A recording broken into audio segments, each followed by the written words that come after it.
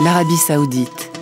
Un pays mystérieux de désert et de sable, un pays grand comme l'Europe occidentale, assis sur le quart des réserves de pétrole du monde.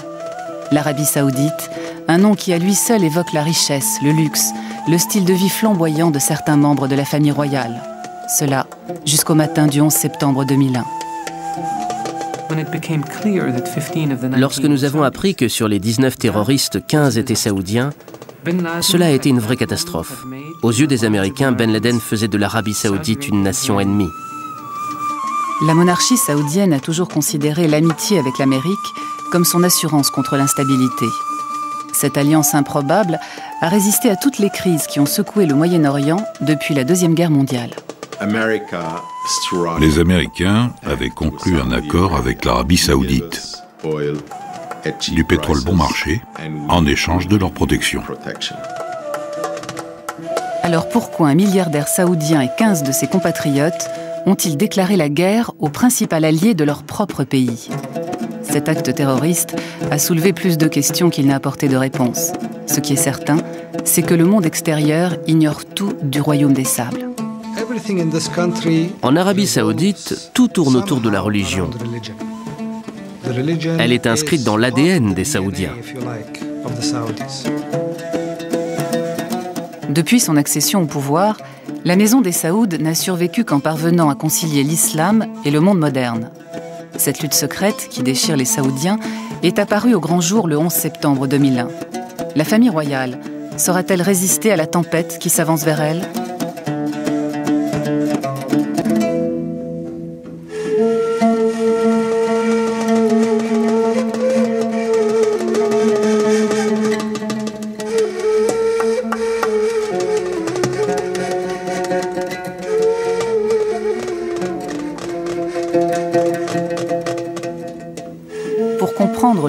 Et ses suites, un retour en arrière s'impose. À partir de l'alliance qui a permis à la Maison des Saouds de conquérir le pouvoir. L'histoire commence en 1744 avec l'apparition d'un prédicateur musulman, Mohamed Abdel Wahhab. Il s'était donné pour mission de réinstaurer un islam pur dans la péninsule arabique, la terre natale du prophète. Son enseignement, le wahhabisme, était si rigoureux qu'il ne pouvait s'étendre que par la force du glaive Il gagna le soutien de Mohamed El Saoud, chef déjà redouté d'une tribu guerrière.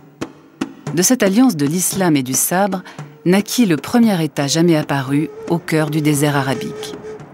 Fragile, cet État sombra bientôt dans le chaos avant de s'effondrer un siècle plus tard. المملكة العربية السعودية كانت عبارة عن قبائل وعن دويلات صغيرة وهناك من الحروب ومن قطع الطرق ومن عدم الوفاق بين هذه الفئات المتصارعة لم تتوحد المملكة العربية السعودية في تاريخها بهذا الشكل إلا في عهد الملك عبد العزيز. En 1902, Abdelaziz Ibn Saoud, arrière-arrière-petit-fils du fondateur du premier royaume et une quarantaine de ses proches, partirent à la reconquête du désert avec pour ambition de restaurer la gloire de ses ancêtres.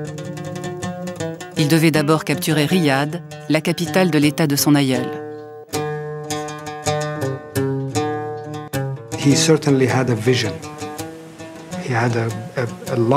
Il avait de grandes ambitions pour ce pays. Il voulait en faire une nation, un État semblable à d'autres États, qu'il ait des hôpitaux, des routes, des écoles, des industries, tous les attributs d'un État moderne, et qu'il trouve sa place parmi les autres nations, plutôt que d'être un lieu isolé dont le sort n'intéressait personne. Il voulait qu'il devienne un acteur sur la scène internationale.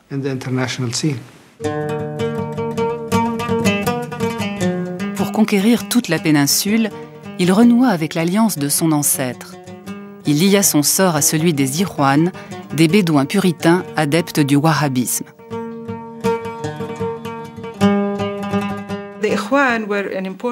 Les Irwan étaient une unité de combattants importante.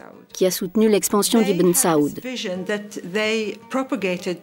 Ils étaient partisans d'un islam puritain et par conséquent, ils rejetaient tout ce qui était contraire à leur vision. Ces gens-là venaient du désert, où ils avaient vécu isolés durant près de 800 ans. Dans le désert, il fait jour ou nuit, chaud ou froid. Les nuances n'existent pas. Même pour la musique, l'instrument traditionnel n'a qu'une seule corde. Et cela a en quelque sorte conditionné leur façon de penser. C'est noir ou c'est blanc, vous êtes avec ou contre moi. Rien n'arrêtait les Irouanes. Et c'est bien grâce à eux que, province après province, Abdelaziz Ibn Saoud conquit ce vaste territoire désertique. Il rêvait de s'emparer du Hedjaz le long de la mer Rouge et de sa capitale, la Mecque. Le lieu saint de l'islam serait le plus beau joyau de sa couronne. En 1926, les Irouanes occupèrent la grande mosquée de la Mecque.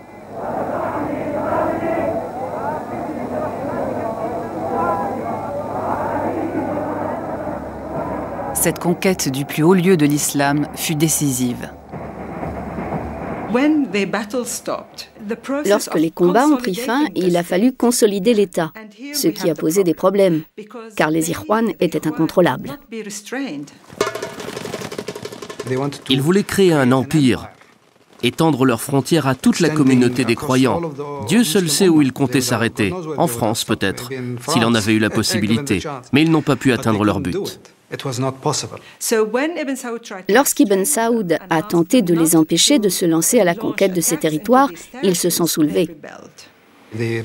Ils se sont révoltés contre lui. Ils l'ont accusé d'être un infidèle, d'avoir perdu sa foi en l'islam, d'être devenu matérialiste et de les avoir trompés. Il disait pourquoi Abdelaziz Ibn Saoud envoyait-il ses fils à l'étranger, à Londres Pour les Irwan, cela allait à l'encontre de l'islam. Pourquoi permettre aux nouvelles technologies de pénétrer le royaume? C'était contraire à l'islam. Tous les opposaient. Alors, Abdelaziz Ibn Saoud a dit Je ne peux pas, c'est contraire à mon projet. Le roi Abdelaziz Ibn Saoud se trouvait dans une situation impossible. Pour réaliser son objectif, et faire de l'Arabie saoudite un État moderne, il devait soumettre les Irouanes qui s'étaient battus à ses côtés. Mais comment lui, le défenseur de l'islam, pouvait-il en conscience partir en guerre contre d'autres musulmans? La seule issue était de gagner l'appui des oulémas, ces hauts dignitaires religieux considérés comme la conscience morale du royaume.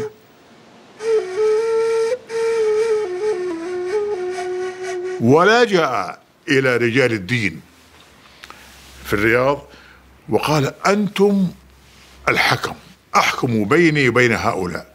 فنظروا في الشريعة الإسلامية أعادوا النظر ودققوا في القرآن وفي الأحاديث وجدوا أن الحق مع الملك عبد العزيز وليس مع فأعطوا الفتوى المشهورة بأنه أنتم غلطانين ولا يجوز لكم شرعا أنكم تقوموا بهذه الحركات ضد ولي الأمر. C'est à partir de ce moment-là que le rôle des oulémas a changé. Ils se sont dotés d'un nouveau uh, pouvoir, celui de sanctionner la politique. Ce tournant décisif a eu lieu en 1927.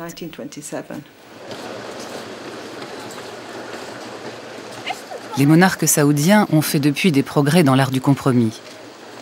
Mais le soutien des oulémas et leur pouvoir d'émettre des fatwas restent la pierre angulaire du régime saoudien.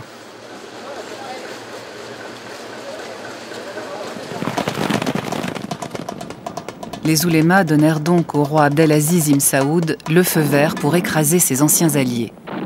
Les Irouanes seront battus, mais non éradiqués. Des résurgences de ce courant islamiste radical réapparaîtront à chaque moment critique de la vie du royaume.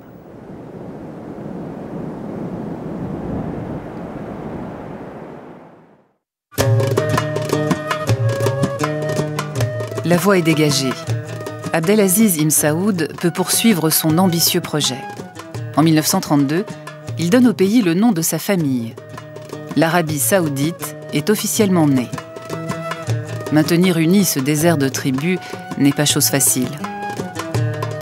Abdelaziz adopte la stratégie du mariage. Le roi épouse l'une des filles de chacun des chefs de tribu qu'il avait soumis. Il eut de cette façon 45 fils légitimes. Tous les rois qui se sont succédés depuis sont des fils du fondateur.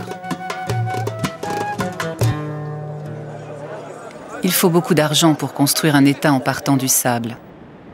Les seuls revenus du royaume provenaient d'une taxe prélevée sur les pèlerins se rendant à la Mecque. Et c'était bien insuffisant. Un jour, le roi Abdelaziz se trouvait dans le désert lorsqu'il a rencontré une vieille femme qui pleurait. Il apprend qu'elle vit dans une grande misère. Il avait toujours des sacs remplis d'argent sous les sièges de sa voiture, car il y avait beaucoup de pauvreté. Et il n'existait aucun autre moyen de distribuer de l'argent à la population. Il a pris le sac de pièces qui contenait environ 50 rials et lui a donné. La vieille femme s'est mise à frapper le sol en implorant que Dieu dévoile tous les trésors de la terre pour vous. C'était avant la découverte du pétrole.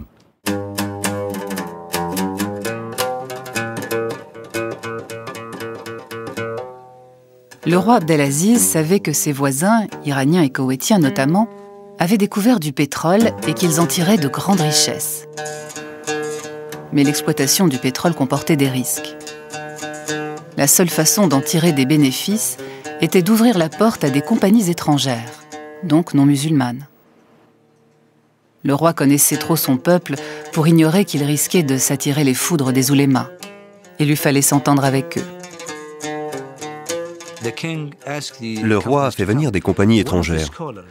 Les oulémas ont aussitôt rétorqué que les agissements d'Abdelaziz Ibn Saoud allaient à l'encontre de l'islam. Le roi a répondu en les invitant à sa cour. Il leur a alors demandé Donnez-moi une raison concrète qui me prouve que je ne devrais pas faire ça, puisque vous affirmez que c'est contraire à l'islam. Et il a ajouté Le prophète Mohammed a utilisé des juifs et des chrétiens. Ce n'est pas parce qu'ils n'étaient pas musulmans qu'ils ne devaient avoir aucun contact avec eux. Le prophète ne s'est-il pas servi d'eux Les oulémas ont répondu oui, c'est vrai, et le roi a conclu, eh bien je vais faire exactement la même chose.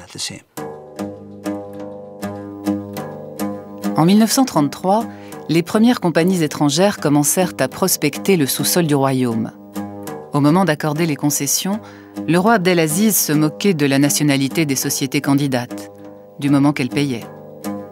Les Britanniques, les Japonais et d'autres se dirent intéressés. Mais les Américains furent les premiers à mettre de l'argent sur la table.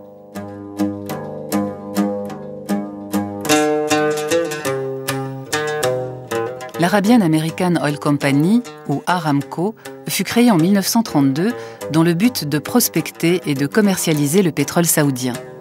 Elle avait pour actionnaires les quatre plus puissantes sociétés pétrolières des États-Unis.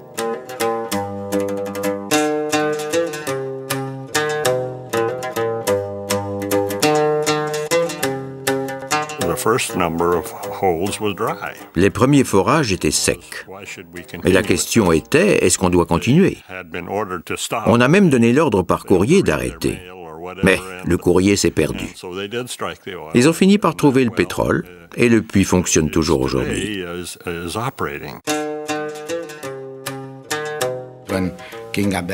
La première fois que le roi Abdelaziz s'est rendu sur le champ pétrolifère pour procéder à son inauguration, il a trouvé l'odeur du soufre très désagréable. On lui a dit que c'était l'odeur du soufre de pétrole et il a aussitôt répondu ⁇ Laissez-moi m'étourdir de cette odeur ⁇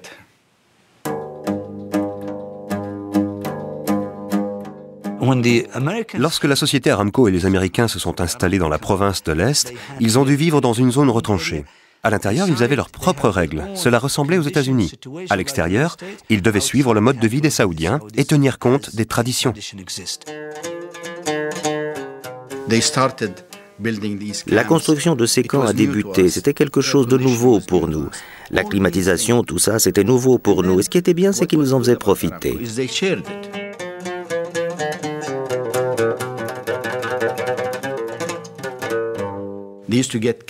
Ils avaient des conserves de nourriture. C'était la première fois que nous en voyions et nous nous battions pour avoir les conserves vides. Pour les enfants que nous étions, ces boîtes étaient des jouets. Nous étions ravis de l'arrivée des Américains et surtout du chewing-gum. Le chewing-gum a énormément facilité leur intégration.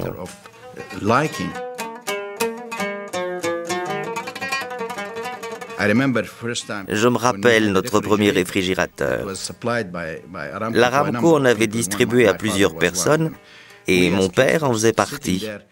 Nous, les enfants, nous avons passé près de 16 heures pour voir l'eau se transformer en glace. Il a fallu 16 heures car à chaque fois que nous ouvrions le réfrigérateur, cela ralentissait le processus réfrigérant. Cela a été quelque chose de magique de voir un glaçon. Nous ignorions ce que le terme technologie signifiait. Pour nous, c'était différent. Tout simplement, c'était l'Amérique.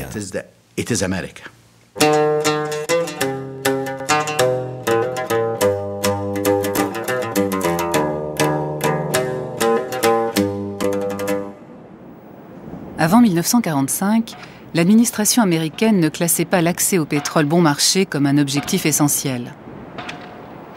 La Deuxième Guerre mondiale changea bien des choses.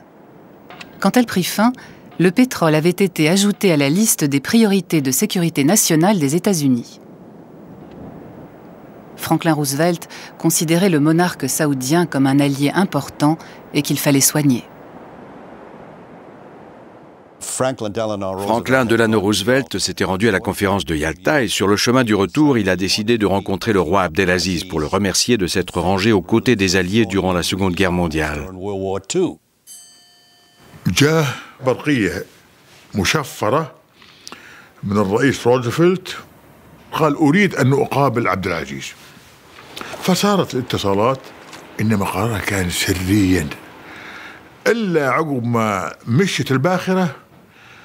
أتى عبد الله السليمان وزير المالية لزوجاته فقط مش لبناته وقال عبد العزيز سلم عليك. ويقول أنا في البحر. في طريقي إلى أن أقابل روزفلت وسوف أعود خلال يومين ثلاثة.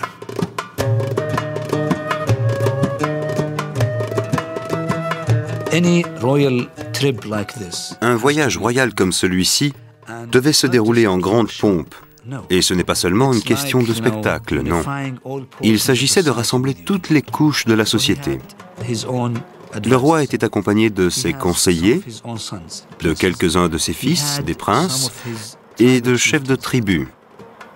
C'était un peu comme un petit État quittant son propre État pour rencontrer le président Roosevelt.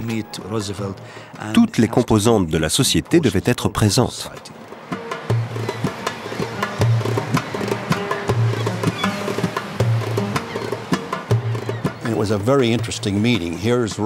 Cette rencontre a été très intéressante. D'un côté, vous aviez Roosevelt, assis dans son fauteuil roulant sur le pont du Quincy. Uh, De l'autre, le roi Abdelaziz, du haut de ses deux mètres, la vue diminuée par un tracot, mais ses dents d'une canne pour marcher. Ils se sont tout de suite très bien entendus. Le roi Abdelaziz a confié à Roosevelt combien il avait de la chance d'avoir ce fauteuil roulant, de pouvoir se déplacer facilement, et combien il lui était pénible à lui de marcher. Roosevelt lui a aussitôt répondu qu'il avait un autre fauteuil roulant et qu'il le lui offrait.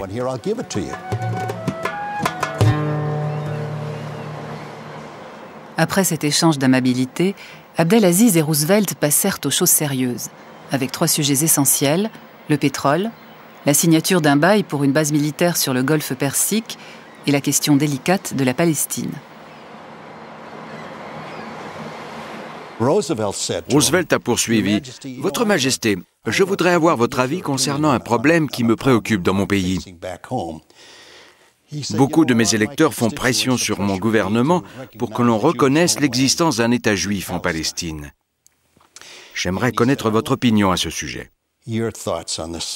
Le roi Abdelaziz a répondu Monsieur le Président, ce que Hitler a fait aux Juifs est abominable. C'est le pire acte que des êtres humains puissent commettre envers d'autres êtres humains. Mais pourquoi vouloir prendre de la terre aux Arabes pour la donner aux Juifs? Si vous voulez faire quelque chose pour les Juifs, pourquoi ne pas leur donner une partie de l'Allemagne? Lorsque Roosevelt a appris quelle était la position du roi Abdelaziz sur la question, il lui a dit Je vous promets la chose suivante. Je ne prendrai aucune décision avant d'avoir consulté les deux camps, le vôtre et celui des Juifs. Les deux parties concernées doivent être consultées avant que je prenne ma décision. Cet engagement fut le premier d'une série de promesses non tenues. Désormais, la Palestine sera le principal motif de discorde entre les États-Unis et l'Arabie saoudite. Mais Abdelaziz pensait avant tout à la sécurité de son royaume. Il demanda aux États-Unis de l'aider militairement, d'équiper et d'entraîner son armée. Le président Roosevelt accepta.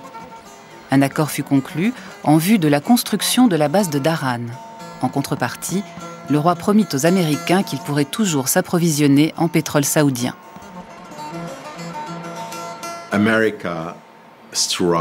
Les Américains ont conclu un accord avec l'Arabie saoudite. Et ce marché était clair. Vous nous donnez du pétrole bon marché et nous assurons votre sécurité. Par la suite, cette protection s'est transformée en hégémonie américaine sur l'ensemble de la région du Golfe. La région du Golfe, devenue zone d'influence américaine, protégeait les Saoudiens, de fait, contre toute menace ennemie. Le roi Abdelaziz et le président Roosevelt confirmèrent leurs engagements réciproques par un échange de lettres. Je m'engage vis-à-vis de vous à ne rien entreprendre en ma qualité de président des États-Unis qui puisse être considéré comme hostile au peuple arabe. Mais Roosevelt mourut peu après avoir écrit cette lettre. Harry Truman lui succéda. Deux ans après, les Nations Unies se réunirent pour discuter du projet de partition de la Palestine, encore sous mandat britannique. Le prince Faisal, le second fils du roi Abdelaziz, débarqua à New York avec la conviction que Truman respecterait l'engagement de Roosevelt. Le prince en discuta avec George Marshall, un des principaux collaborateurs du nouveau président. Le prince Faisal comptait sur la promesse faite par Marshall, à savoir que les États-Unis interviendraient auprès de l'Organisation des Nations Unies pour que la création d'un État israélien ne soit pas votée, qu'une autre solution serait trouvée. Il était peut-être question de tutelle. Cela aurait été le premier territoire placé sous tutelle depuis la signature de la charte de l'ONU. Mais nous n'avons pas respecté l'engagement prononcé par Marshall. Or, quand la création de l'État d'Israël fut annoncée, les États-Unis furent les premiers à lui apporter leur soutien. Le futur roi Faisal reçut le revirement américain comme un affront personnel. Ce ressentiment ne le quitterait jamais.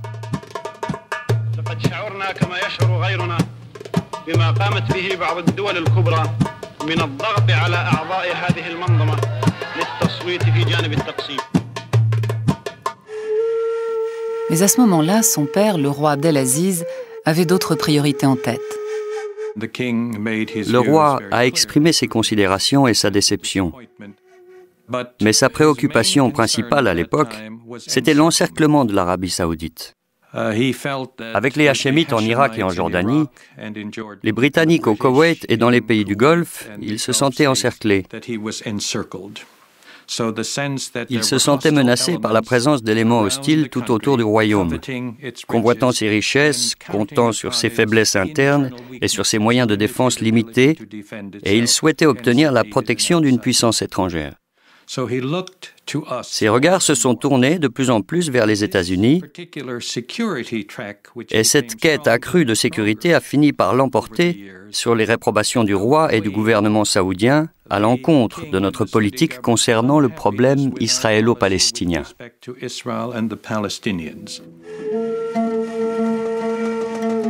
Alors âgé de 70 ans, le roi Abdelaziz avait réalisé son rêve. Il avait reconstitué le royaume de ses ancêtres, il en avait garanti la survie. Mais pour y parvenir, il avait dû s'allier à une puissance non musulmane.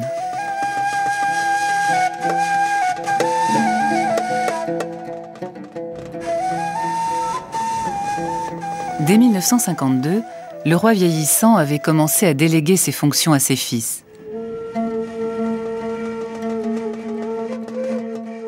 Le prince Saoud, l'aîné, avait combattu à ses côtés. Il avait un rapport privilégié avec toutes les tribus du royaume. Il s'occupait des affaires intérieures. Son frère cadet, Faisal, était ministre des Affaires étrangères.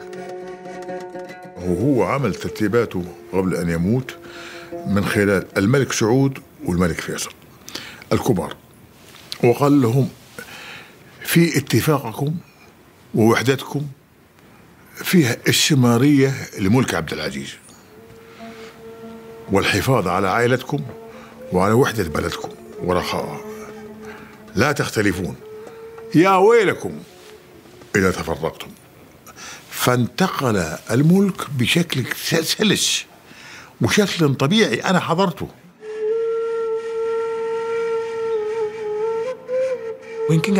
Lorsque le roi Abdelaziz est mort, les gens ont eu peur de ce qui allait se passer.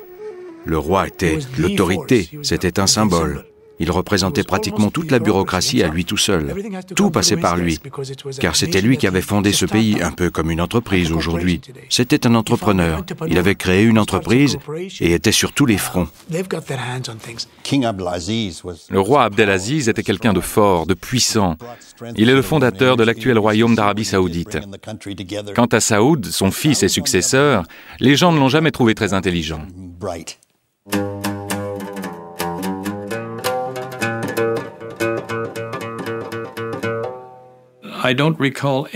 Saoud était un homme très sympathique, très agréable. Uh, Mais il n'a jamais rien dit de significatif sur quelque problème que ce soit.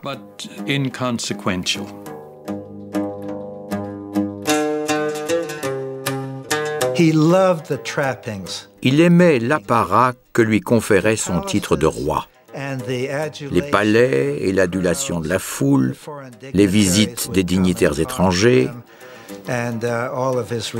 les marques de respect que lui témoignaient ses serviteurs.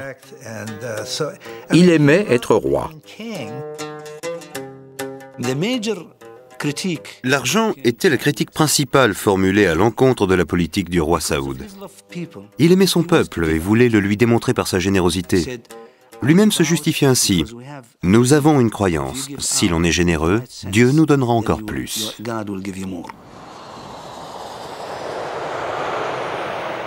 La situation financière était difficile. Mais le roi Saoud pouvait toujours compter sur ses amis américains de l'Aramco pour assurer ses fins de mois.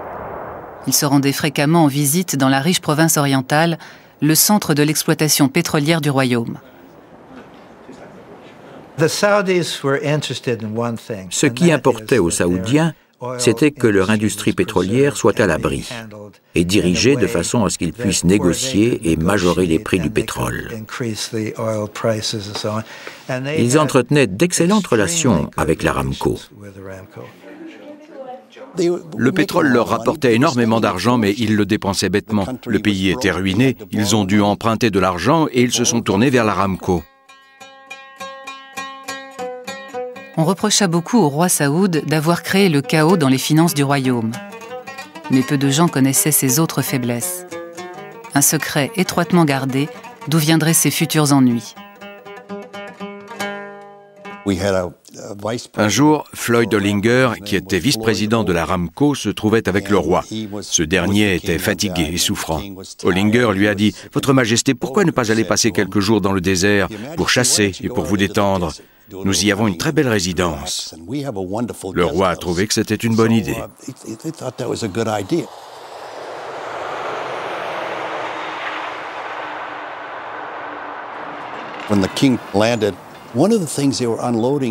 Lorsque le roi est arrivé, on a déchargé de l'avion des caisses pleines de bouteilles d'alcool et de whisky. Et où les a-t-on placées dans la chambre du roi, sous son lit. Cela nous a quelque peu surpris. Il buvait ça pur. Voilà ce que nous avons découvert, mais nous avons gardé le secret. Si la question des rapports du roi avec l'alcool ne fut pas ébruitée, c'est essentiellement pour des raisons politiques. Le roi d'Arabie saoudite était devenu pour les Américains un personnage important.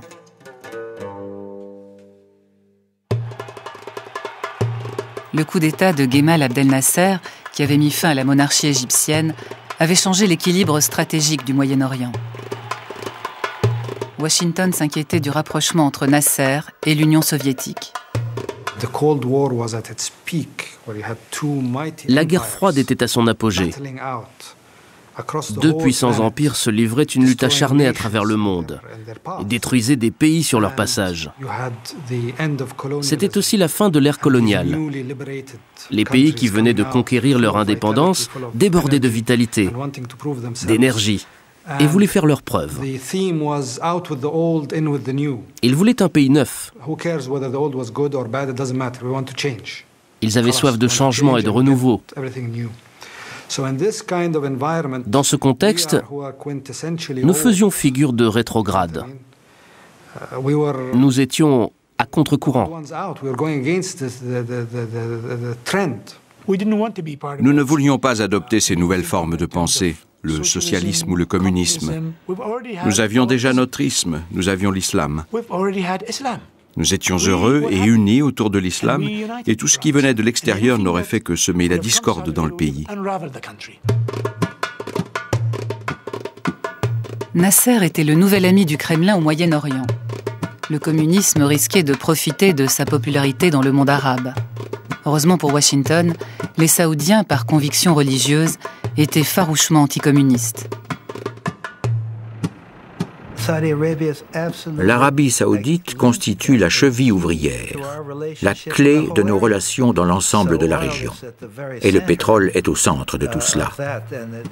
La prise de contrôle des gisements pétroliers par le bloc soviétique nous aurait complètement anéantis. L'administration Eisenhower voyait en la personne du roi Saoud un concurrent potentiel au président Nasser pour exercer une domination dans la région.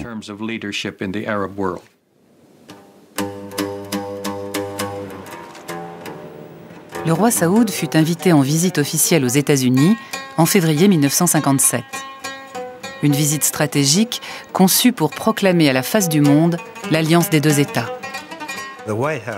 La Maison-Blanche a annoncé qu'elle invitait Sa Majesté et huit personnes de sa suite. L'information a été transmise au roi et en particulier à ses conseillers. Nous nous sommes regardés et nous avons compris qu'il serait bien plus de huit. Au moment d'embarquer, ils étaient presque 80.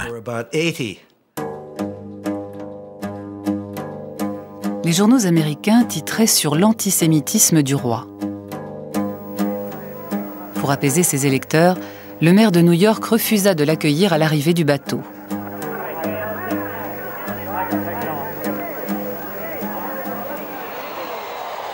Le président Eisenhower était résolu à corriger cette fausse note. Après tout, Saoud était l'un des piliers essentiels de la doctrine de politique étrangère dont il était l'initiateur. Eisenhower s'est rendu à l'aéroport pour accueillir le roi, ce qui était contraire à ses habitudes. Il était décidé à traiter le roi comme l'un de ses meilleurs amis.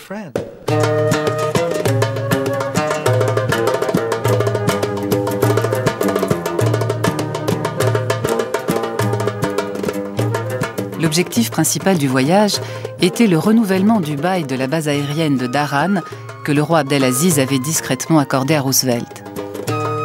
Mais la guerre froide avait fait de Daran un atout stratégique pour les États-Unis face aux Soviétiques et à leurs amis dans la région.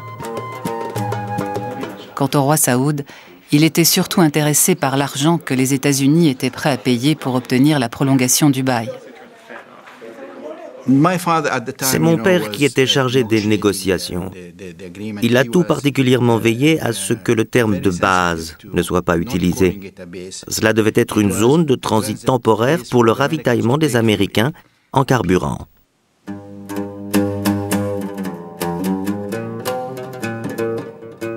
Les modalités exactes de l'accord sur Daran sont énumérées dans le texte original que voici.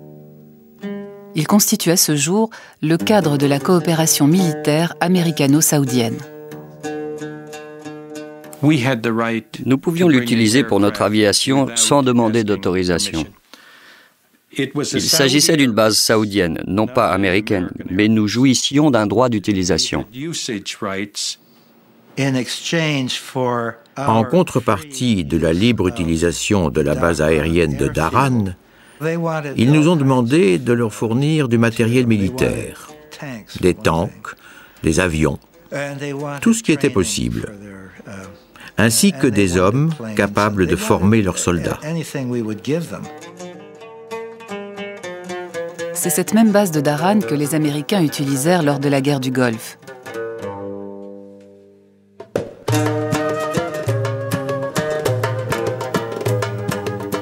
Quant à l'accord de coopération militaire, il fut célébré en grande pompe. Le roi Saoud eut droit à tous les honneurs.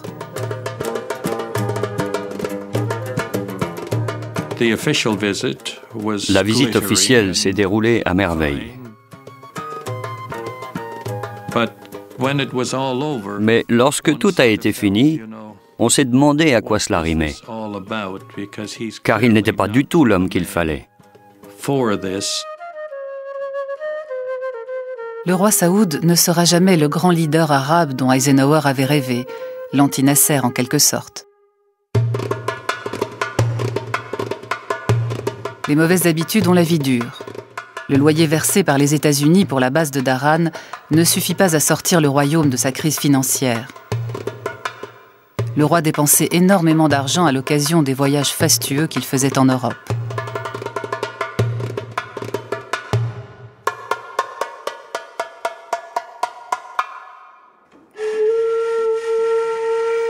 Le pays se trouvait au bord de la faillite.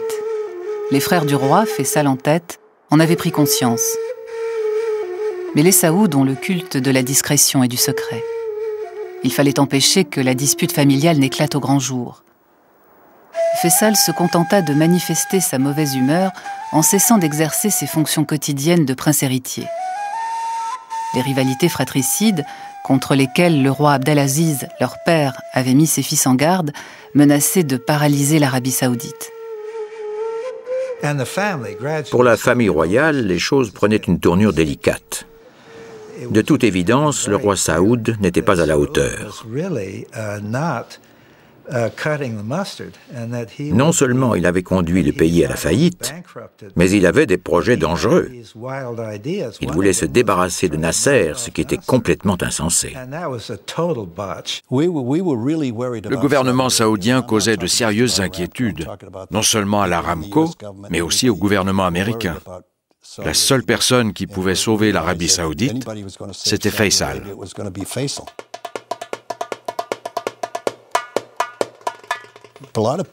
À Riyad, beaucoup redoutaient qu'une guerre civile n'éclate.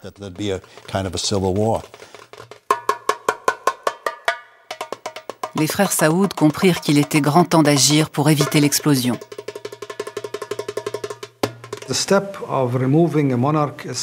Destituer un monarque n'est pas une tâche facile à exécuter. C'est une opération sérieuse et dangereuse. Si on le fait une fois, cela signifie qu'on pourra le refaire. En Arabie saoudite, les individus les plus importants sont les membres de la famille royale, les oulémas, les hommes d'affaires et les commerçants. Il était important que ces groupes parviennent à un consensus pour mener à bien cette destitution. Les frères de la famille royale se sont réunis. C'était dans leur intérêt, il fallait faire quelque chose. En novembre 1964, ils ont décidé d'aller trouver les hauts dignitaires religieux et de s'en remettre à eux.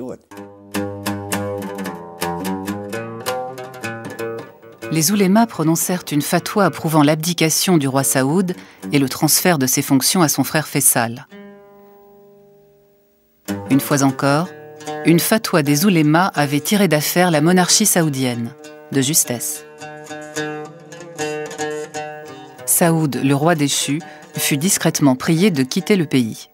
Saoud a été rayé de la lignée royale. Lorsqu'on se rendait dans un palais ou dans tout autre endroit, on pouvait voir la photo d'Abdelaziz, de Faisal. Saoud, lui, ne figurait sur aucune photo. C'était comme s'il n'existait pas. Le monarque affaibli vécut ses dernières années exilé en Grèce.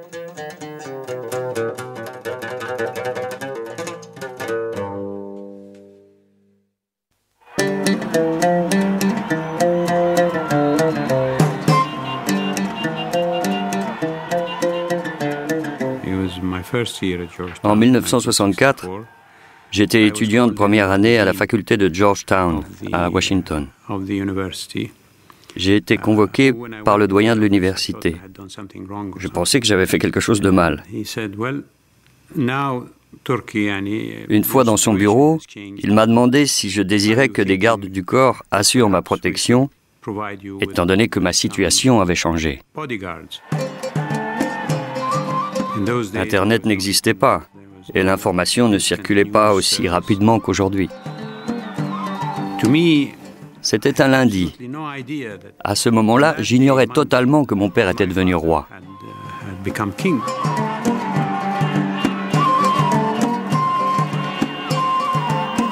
Le roi Faisal se trouvait confronté à une tâche titanesque. Son royaume n'était guère plus qu'un vaste bac à sable. Il n'existait pratiquement ni route, ni école, ni institution moderne. Le roi était résolu à moderniser son pays. Mais comment y parvenir sans remettre en question les valeurs islamiques traditionnelles, ni heurter les oulémas?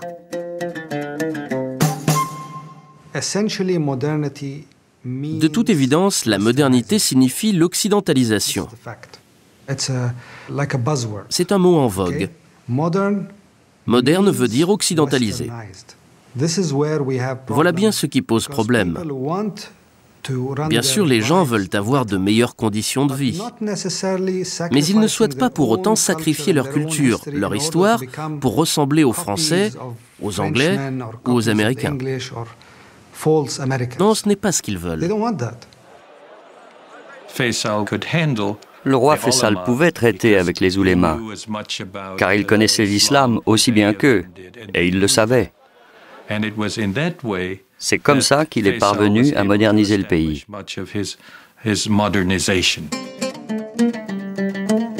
Le roi remporta une victoire en imposant l'éducation des filles. En contrepartie, c'est aux autorités religieuses qu'il confia la surveillance des programmes scolaires. Mais il n'était pas toujours aussi facile pour le roi Faisal de convaincre les oulémas.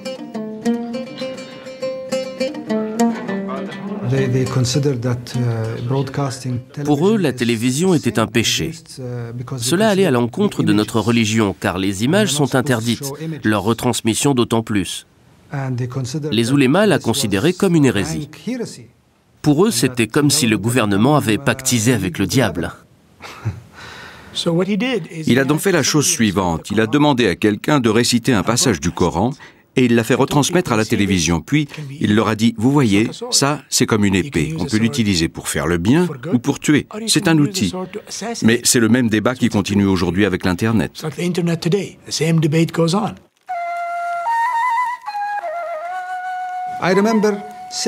Le jour de la première retransmission, j'ai passé deux ou trois heures devant mon poste de télévision à regarder la mire.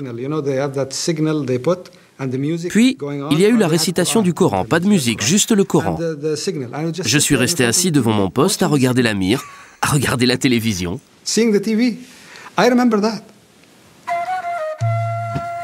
Mais certains membres conservateurs de la famille royale étaient en désaccord avec ces innovations. En 1965, le roi fut confronté à une crise dont bien plus tard, il payerait les conséquences de sa vie. En 1965, le prince Khaled ibn Moussaïd, un des neveux du roi Faisal, a organisé une manifestation contre l'introduction de la télévision, arguant qu'elle était contraire à l'islam.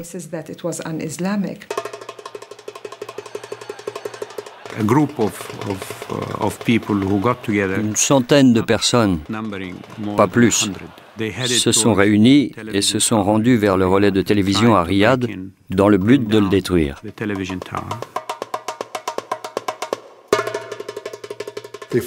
Une fusillade a éclaté et le prince a été tué.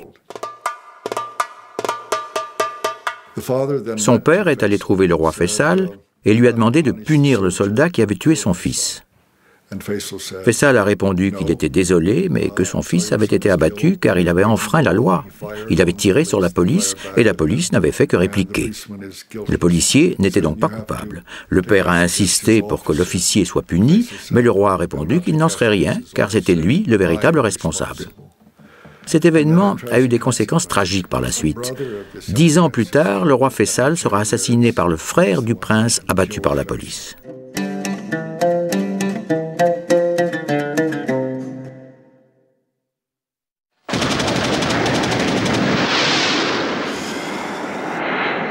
Le déclenchement de la guerre israélo-arabe de 1967 éclipsa toutes les difficultés intérieures du roi Faisal.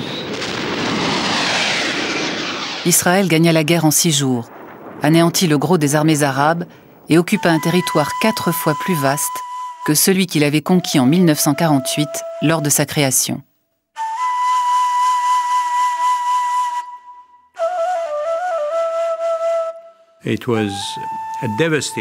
La défaite de 1967 a eu des conséquences désastreuses pour chacun d'entre nous. Pour le roi Faisal, le choc a été très violent. Tout au long de sa carrière, il avait cherché à œuvrer pour la paix. En 1919, alors qu'il était à peine âgé de 14 ans, il s'était rendu à Paris pour représenter son père lors d'une conférence de paix. En 1967, cela faisait donc près de 50 ans qu'il œuvrait pour la défense du peuple palestinien et de la Palestine. Après la guerre de 1967, lorsque les Israéliens se sont emparés de nouveaux territoires palestiniens et de Jérusalem, il a vu tous ses efforts anéantis et a ressenti cela comme une défaite et un affront personnel.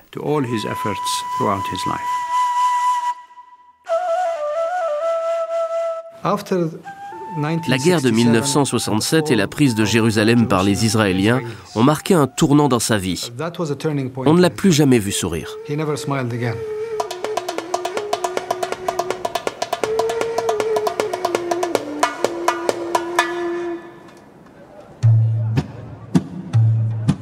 Les États-Unis n'étaient pas restés neutres dans ce conflit. C'est grâce à l'armement américain que les Israéliens avaient remporté la victoire. L'agitation anti-américaine grondait dans plusieurs capitales arabes. Les États-Unis s'inquiétaient. Washington m'a aussitôt demandé de faire évacuer la communauté américaine. Je suis allé trouver le roi Faisal. Il m'a dit qu'il était très important que nos deux pays maintiennent d'étroites relations diplomatiques et que la communauté américaine reste en Arabie saoudite. Il espérait que les États-Unis fassent pression sur Israël pour qu'ils évacuent la Cisjordanie, la bande de Gaza, le Sinaï et la partie est de Jérusalem. Ce que nous avons promis de faire. L'engagement américain fut bien reçu. Mais le roi Faisal n'avait pas oublié que les États-Unis avaient fait une promesse similaire à son père et qu'ils ne l'avaient jamais tenue. Il n'était pas évident de conserver des relations amicales avec l'Arabie saoudite à cause du problème palestinien. Après 1967, c'est devenu encore plus difficile. Le monde arabe plaçait la défaite sur le compte de l'aide militaire américaine apportée par les États-Unis à Israël. La Ligue des États arabes s'est alors tournée vers les Saoudiens. Elle les a accusés de n'être que des marionnettes entre les mains des Américains, qui ne contrôlaient même pas leur pétrole.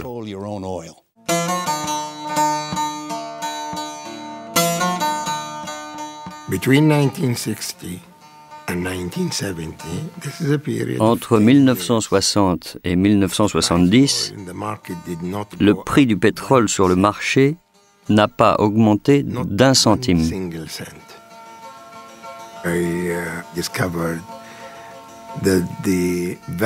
Pour vous donner un exemple, disons qu'un baril de Pepsi Cola valait plus qu'un baril de pétrole.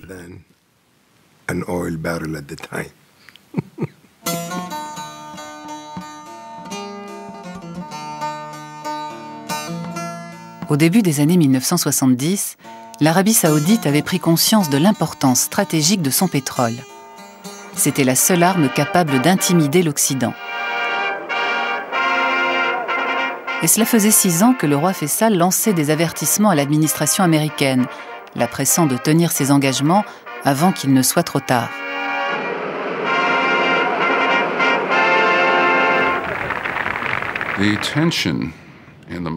La tension était de plus en plus vive au Moyen-Orient. Mais je crois que nous avions plutôt tendance à minimiser l'importance des signaux d'alerte qui nous parvenaient, en particulier un courrier adressé par le roi Faisal. Dans cette lettre, il nous pressait d'intervenir au sujet de la question palestinienne, faute de quoi les répercussions se feraient ressentir. Nous n'avons pas pris ces menaces au sérieux. Nous pensions que c'était des paroles en l'air.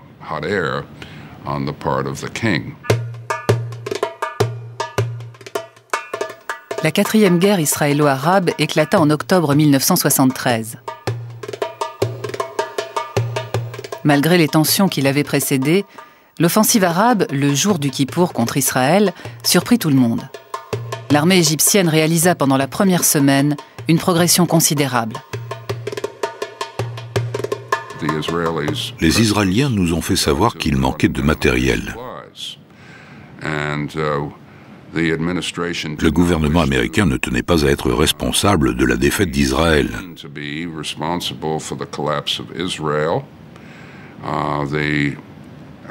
Quant aux pays arabes, la Syrie, l'Égypte, c'était l'URSS qui leur fournissait des armes.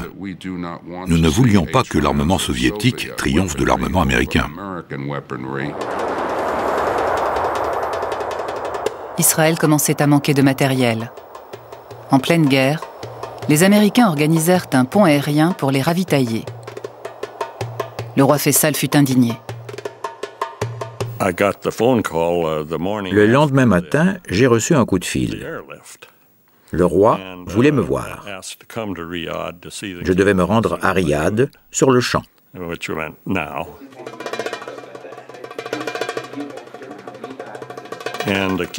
Le roi était furieux de ce qui s'était passé. La seule possibilité qui s'offrait à lui était l'embargo. Je lui ai dit que je ne voyais pas comment il allait faire. Il m'a répondu que c'était nous qui allions nous en charger.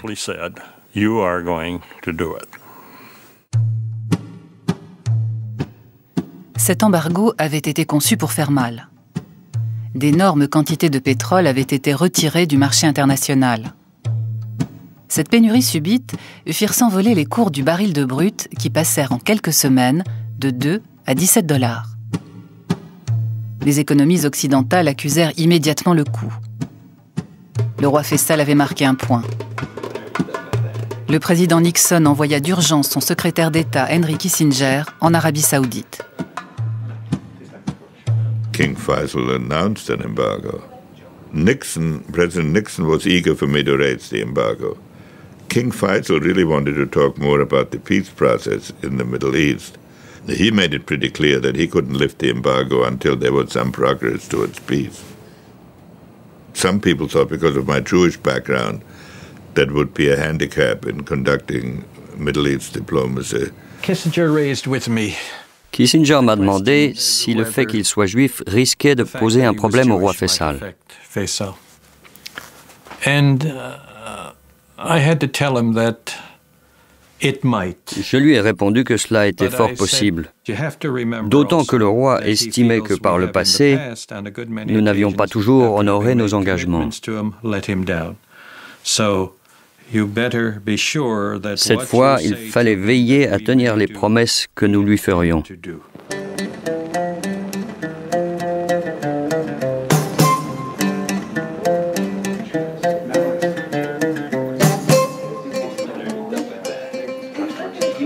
He was very austere looking, very sharp features, and it was a very long room.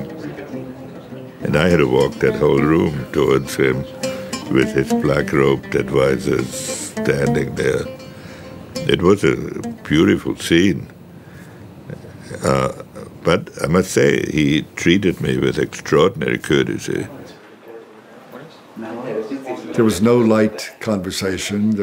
La conversation ne s'est pas déroulée sur un ton léger. L'heure n'était pas à la plaisanterie. Uh, non, l'ambiance était plutôt tendue. Cependant, la rencontre s'est plutôt bien passée. Nous étions tous là dans le même but.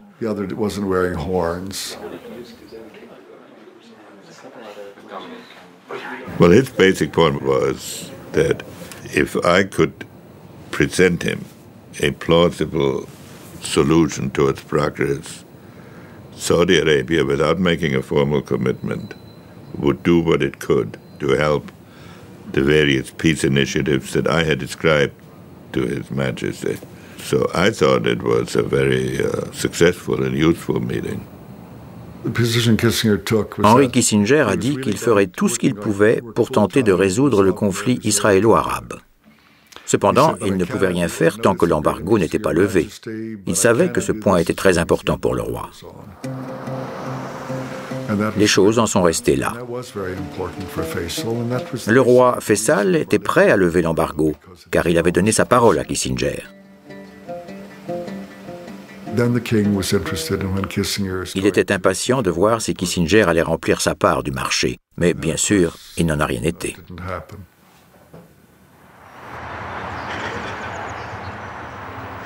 L'embargo se prolongea pendant cinq mois. La colère de l'Amérique était telle que le Pentagone prépara secrètement un débarquement dans la province pétrolière. Le sujet resta longtemps tabou.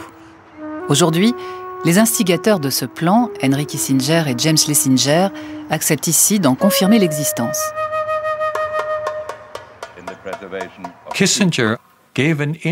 Dans une interview, Kissinger a déclaré que les États-Unis ne pouvaient accepter que leurs réserves de pétrole soient confisquées. S'il le fallait, ils étaient prêts à intervenir en Arabie saoudite pour prendre le contrôle des champs pétrolifères.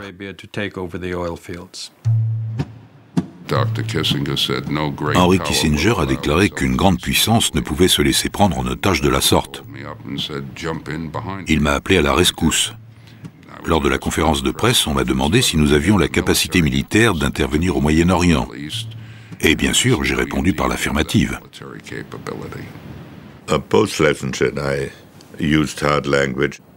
we try to make clear that there was a point at which we would have to look after the requirements of national security. And so we implied that uh, if we were pushed absolutely against the wall, we might secure the oil uh, by our own means. Nous étions tout à fait en mesure d'intervenir et nous avions mis sur pied un plan d'urgence au cas où nous aurions reçu l'ordre d'agir.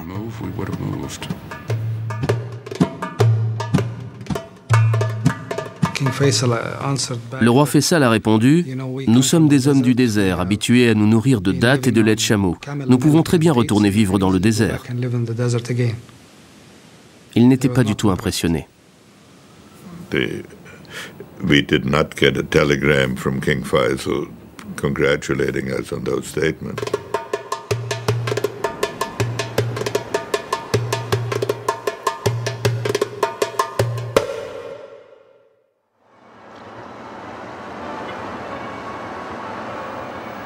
Mais loin de ces affrontements, se jouait en coulisses un tout autre scénario. C'était un secret d'État.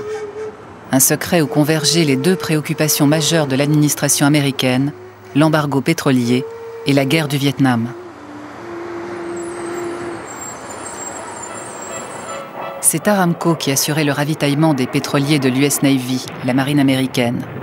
Seuls quelques responsables étaient dans la confidence. Aujourd'hui, trois d'entre eux racontent.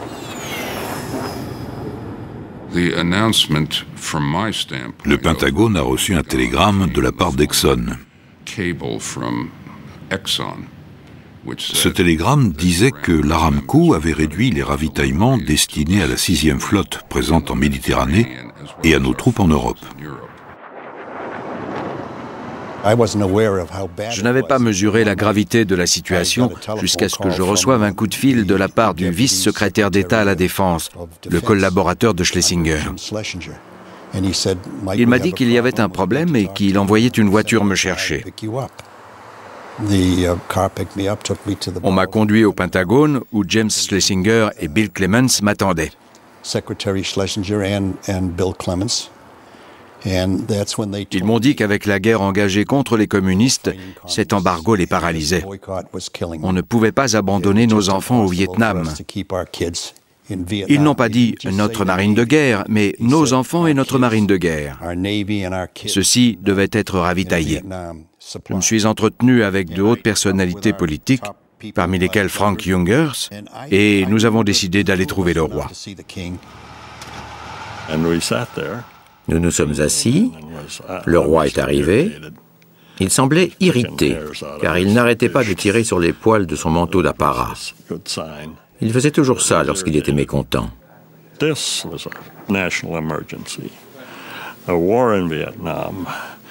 La guerre au Vietnam était une priorité absolue qui prenait le pas sur d'autres conflits tels que la question palestinienne et israélienne.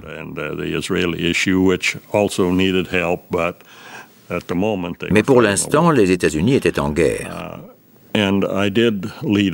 J'ai insisté sur ce point dès le début de l'entretien, en essayant de convaincre le roi qu'il fallait faire quelque chose. Nous avons suivi à la lettre les recommandations de Bill Clements et Jim Schlesinger pour exposer la situation au roi. Les États-Unis combattaient le communisme et connaissant sa position à ce sujet, nous avions besoin de son aide. Il a acquiescé. De toute évidence, s'opposer à une décision de la Ligue arabe risquait de lui attirer des ennuis. C'était un pas difficile à franchir. Très bien. Que Dieu vous aide. Voilà quelle a été sa réponse. Cela signifiait, vous avez sans doute raison, tâchez simplement de ne pas vous faire prendre. Je suis allé trouver Jim Schlesinger pour savoir comment procéder. Tout le monde savait que quelque chose d'énorme se tramait, mais pendant des années, le secret a été gardé. C'est intéressant. Je ne suis pas certain qu'il s'agissait réellement de... Non, nous n'avions aucun problème de ravitaillement. Nous voulions tenter d'apaiser la colère du gouvernement américain. Il fallait nous assurer que notre armée serait bel et bien ravitaillée, même si officiellement les livraisons étaient interrompues. La mission secrète organisée pour briser l'embargo fut un véritable cauchemar logistique. Il s'agissait de mettre au point un plan pour briser l'embargo, capable de tromper les instigateurs même du plan. Nous avons usé de toutes sortes de stratagèmes et l'affaire a été réglée. Le pétrole a été livré. Le roi n'en a plus jamais parlé, ni le gouvernement américain.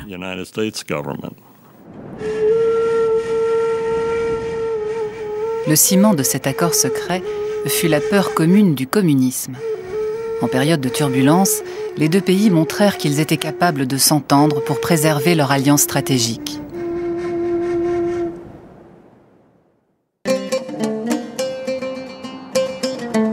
En 1975, l'agitation de l'époque du boycott s'était calmée.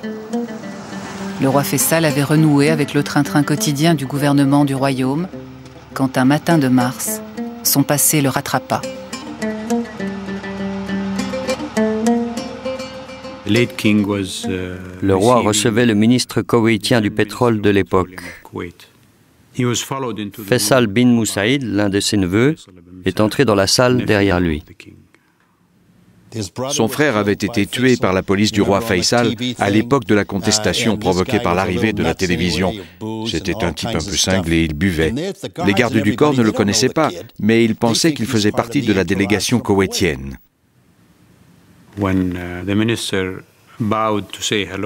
Lorsque le ministre koweïtien s'est penché pour saluer le monarque, il a sorti une arme et a tiré sur le roi par-dessus l'épaule du ministre.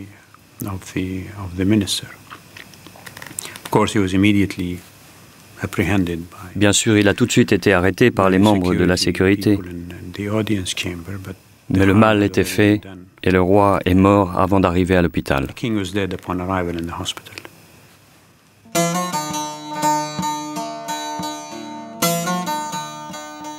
Le choc provoqué par l'assassinat du roi Faisal fut d'autant plus violent que le meurtrier appartenait à la famille royale.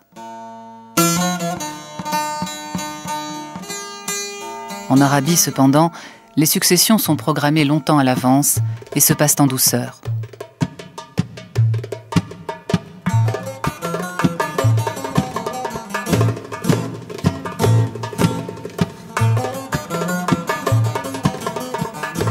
Le prince héritier Khaled était très proche de Faisal depuis la création du royaume.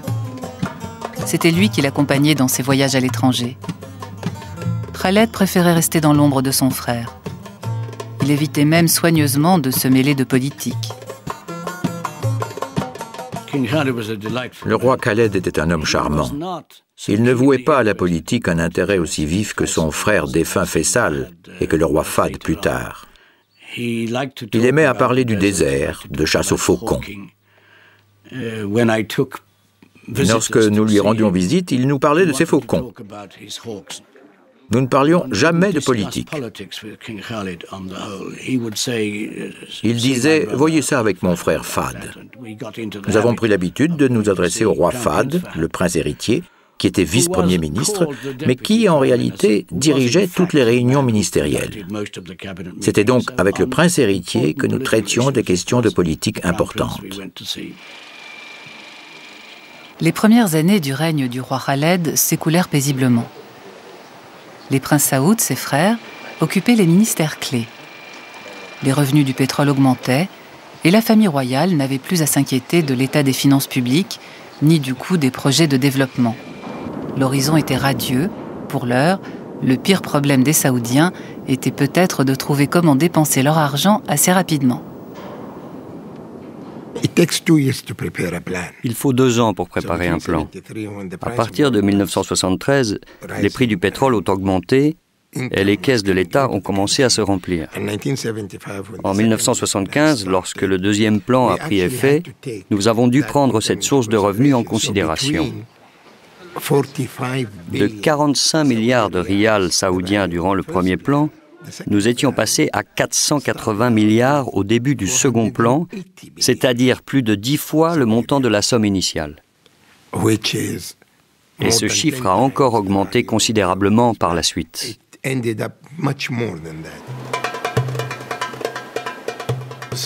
L'Arabie saoudite était le seul pays à connaître un pareil essor. Partout ailleurs, les perspectives d'investissement pour les entrepreneurs étrangers étaient rarissimes. Tout le monde se tournait vers l'Arabie saoudite. Tout le monde voulait une part du gâteau.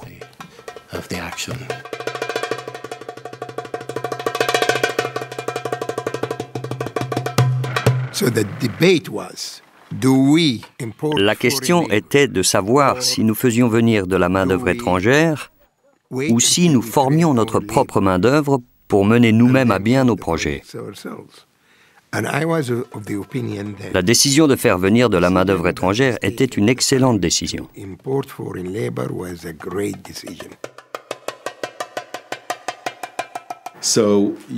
On a assisté à l'apparition d'un système où la population locale ne travaillait pas vraiment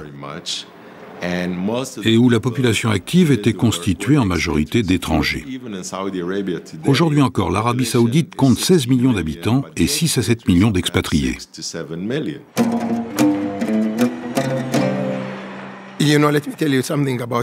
La reine Elisabeth est venue en Arabie saoudite à cette époque et vous savez ce qu'elle a dit? Qu'elle n'avait jamais vu autant de grues. Il y avait des grues partout. Tout était à faire.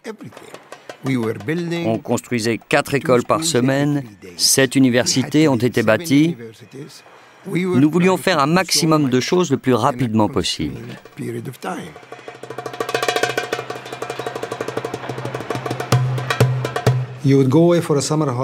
L'été, on partait en vacances et lorsqu'on revenait, on ne reconnaissait plus rien. On était perdu.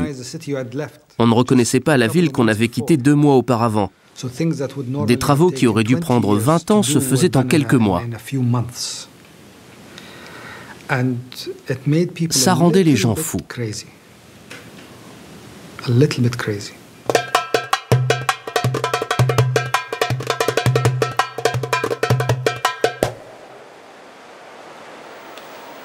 Le rythme du changement donnait le vertige. le boom exacerba le conflit entre islam et modernité et les tensions sociales s'accentuèrent. Avec le boom pétrolier, la culture occidentale a fait son entrée dans un pays où environ 70% de la population était ultra-conservatrice. Des fondamentalistes musulmans presque radicaux.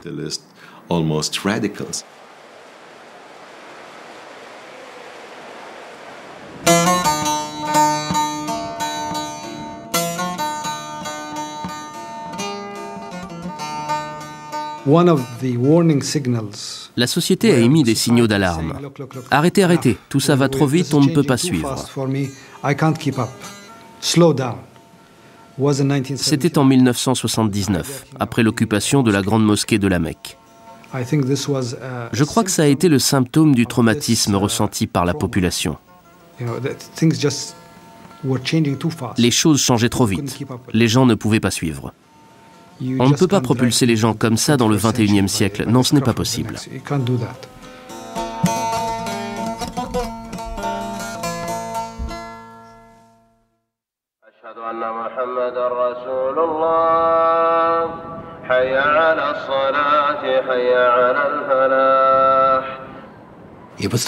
C'était le premier jour de l'année dans le calendrier musulman.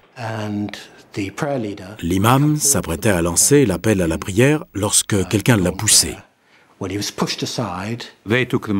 L'homme s'est emparé du micro et a annoncé que le Messie était arrivé et que les gens devaient venir lui témoigner fidélité et obéissance. Des centaines d'insurgés se barricadèrent à l'intérieur du sanctuaire. Frappé d'horreur, le pays s'arrêta, paralysé. Nous nous trouvions à environ 500 mètres de la mosquée. À l'intérieur, les coups de feu fusaient. On aurait dit qu'on tournait un film. Des personnes postées sur les minarets tiraient. La difficulté principale, c'est qu'il s'agissait du plus important des lieux saints. Des canons, des tanks ou des mitrailleuses qui tirent sur cet édifice est quelque chose de répugnant pour tous ceux qui vénèrent ce lieu saint.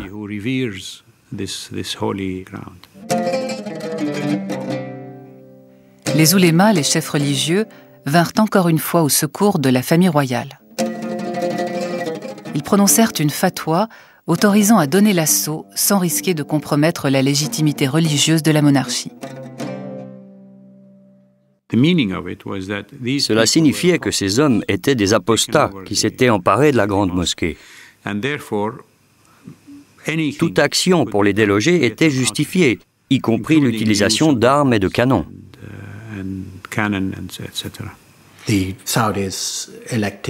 Les Saoudiens ont opté pour une offensive musclée. Ils ont décidé de lancer une attaque de front contre les entrées principales. Malheureusement, les projecteurs de la mosquée étaient allumés et plusieurs hommes ont été abattus par des snipers.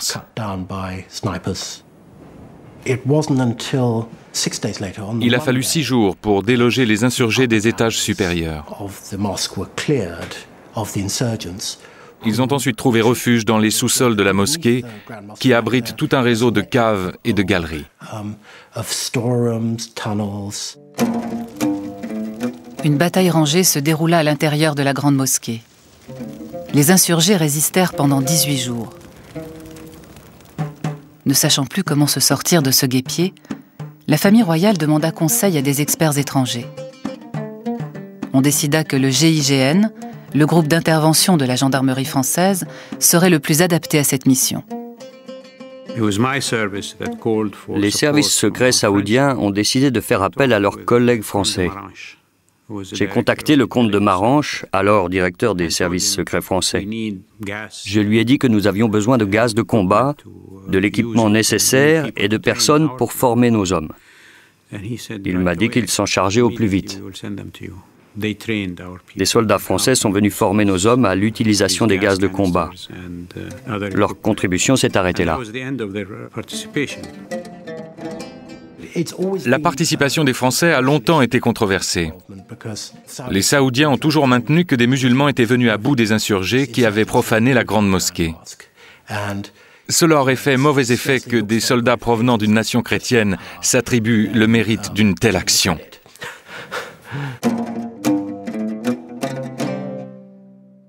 Dès que le siège fut achevé, 63 des insurgés qui avaient survécu au combat furent exécutés.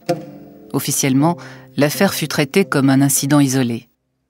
La famille royale était ébranlée, mais elle refusait de considérer le siège de la grande mosquée de la Mecque comme l'acte de naissance d'un mouvement violent d'opposition islamiste, le mouvement d'où sortirait Oussama Ben Laden.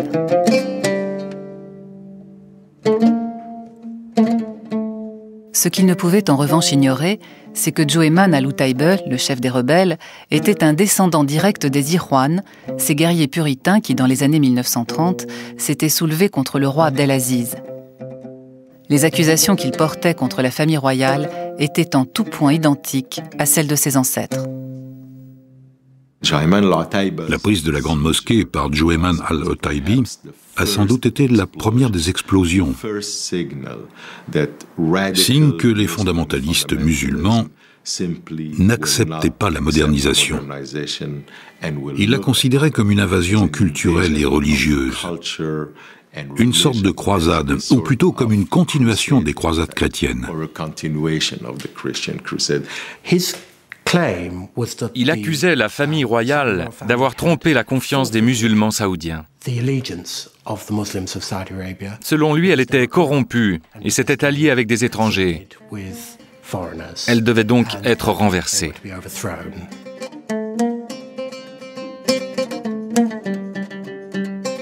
Et la vie saoudienne reprit comme si de rien n'était.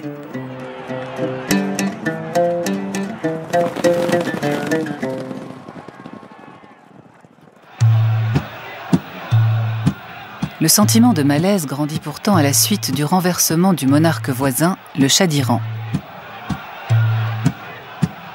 Discours après discours, l'ayatollah Khomeini se mit à dénoncer la corruption et l'impiété des monarchies du monde musulman.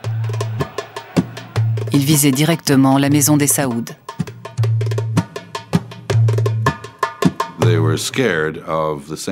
Les Saouds craignaient de connaître le même sort que le Shah d'Iran, à savoir que la famille royale ou le gouvernement saoudien soit renversé. Uh, Ils ont réagi en utilisant des technologies modernes, non pas pour atténuer les traditions islamiques, mais pour les renforcer.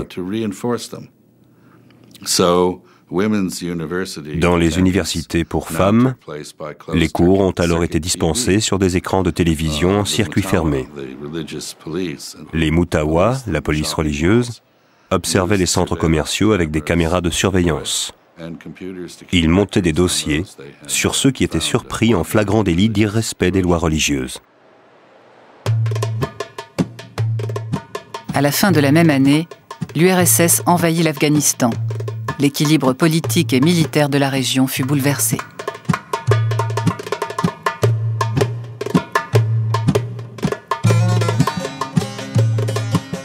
Emporté par le tourbillon de la révolution roméniste, l'Iran n'était plus, comme du temps du Shah, un avant-poste du monde libre face à l'URSS.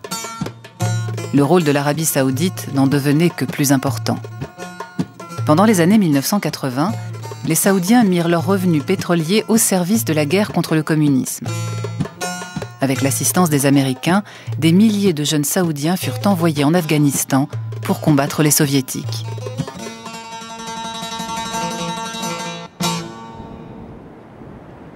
Um, uh, les établissements religieux et les grandes écoles ont commencé à former de nombreux diplômés, dotés d'excellentes connaissances en théologie, mais qui pouvaient difficilement trouver place dans l'économie. Dans les années 80, la guerre en Afghanistan a permis d'intégrer une grande partie de la jeunesse saoudienne. Et cela a été encouragé par le gouvernement, qui l'a vu comme un moyen d'apaiser les tensions mais qui n'a pas bien mesuré les répercussions que cela pourrait avoir.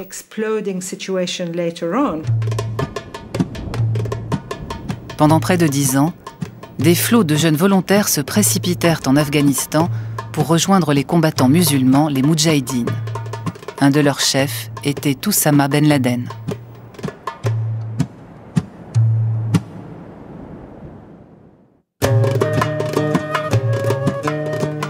En 1982, après la mort de son frère Khaled, le prince héritier Fad devint le cinquième roi d'Arabie.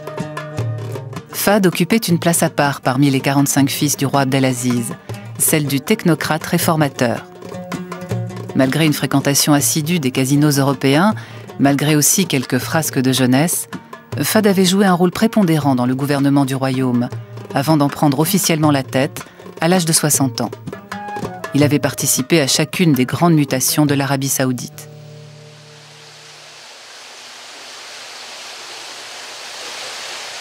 Le luxe dans lequel vivaient les princes saoudiens résultait du boom pétrolier. Mais le vent de la fortune était en train de tourner. Les cours du pétrole étaient en chute libre.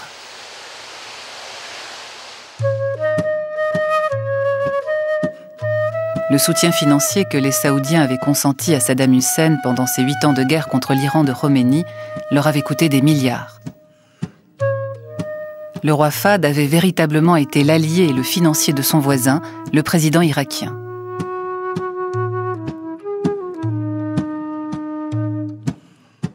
Quand les hostilités cessèrent en 1988, Fahd ne s'attendait évidemment pas à être trahi.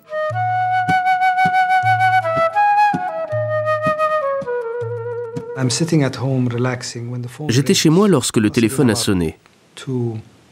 Il était 15 heures environ. C'était ma mère. Elle m'appelait de Paris. Elle avait une voix agitée. Elle m'a demandé à plusieurs reprises si tout allait bien. J'ai répondu que oui. Tu n'es pas au courant, me demande-t-elle. Non, que s'est-il passé? Elle m'a alors appris que l'Irak venait juste d'envahir le Koweït. La nouvelle m'a fait l'effet d'une bombe. Je l'ignorais complètement. À cette époque, nous n'avions pas la télévision par satellite. Et le blackout sur l'information était de rigueur. Ni la télévision ni la chaîne de radio saoudienne ne mentionnaient quoi que ce soit à ce sujet. Rien du tout. Le blackout a duré trois jours. Pendant trois jours, nous n'avons rien su. C'était vraiment très étrange, mais cela nous donnait un aperçu de l'espèce de paralysie et d'incompréhension dans lesquelles s'est trouvé le régime.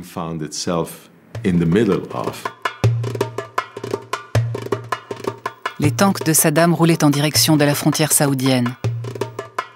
La famille royale savait parfaitement que sa petite armée ne tiendrait pas longtemps face aux soldats aguerris de l'armée irakienne.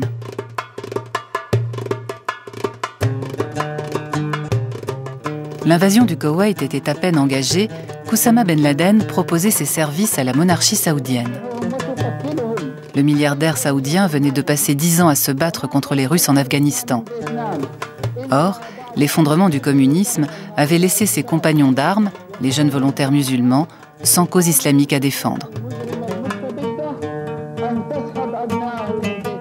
Ben Laden went to see some, uh. Uh, ben Laden est allé trouver des membres du gouvernement saoudien et leur a proposé de faire venir son armée d'Afghanistan, les Moudjahidines, pour repousser l'envahisseur irakien hors du Koweït.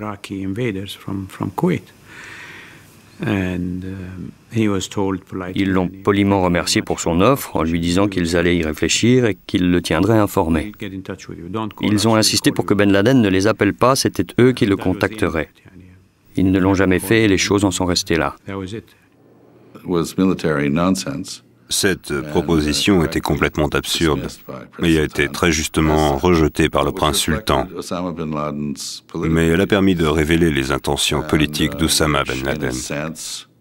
On peut y voir l'acte de naissance d'Al-Qaïda. Le régime saoudien avait de quoi s'inquiéter qu'un de ses citoyens annonce qu'il avait les moyens de lever une armée. De fait, les troupes irakiennes étaient aux frontières du royaume. La parade la plus efficace était de faire appel à l'allié américain. Cette solution n'allait pourtant pas de soi pour le roi Fad. Comment faire venir en Arabie saoudite des milliers de soldats non musulmans sans s'attirer les foudres des religieux conservateurs? Seuls les chefs religieux pouvaient autoriser le roi Fad à agir. On consulta donc encore une fois les oulémas. Dans ce pays, tout tourne autour de la religion. C'est quelque chose que les Occidentaux ne peuvent pas comprendre, et toute tentative pour l'expliquer serait vaine. La religion, c'est la loi. La culture en est imprégnée, ses racines plongent dans l'histoire. Elle est inscrite dans l'ADN des Saoudiens. Par conséquent, toute décision importante doit passer par le filtre islamique. Il était impératif que nous sachions si le gouvernement saoudien pouvait autoriser que plusieurs centaines de milliers d'Occidentaux pénètrent le territoire saoudien pour combattre une nation musulmane, à savoir l'Irak. Le roi Fad a donc consulté les oulémas. Ces derniers ont répondu que si aucun accord pacifique sur la question ne pouvait être trouvé, alors il fallait aider les victimes à combattre l'agresseur, avec l'aide des soldats non musulmans. Le roi Fad obtint la fatwa qui lui permettait de défendre son pays. Mais cette fatwa provoqua dans la population saoudienne des dissensions qui portèrent atteinte à la légitimité même des oulémas et firent le lit des extrémistes.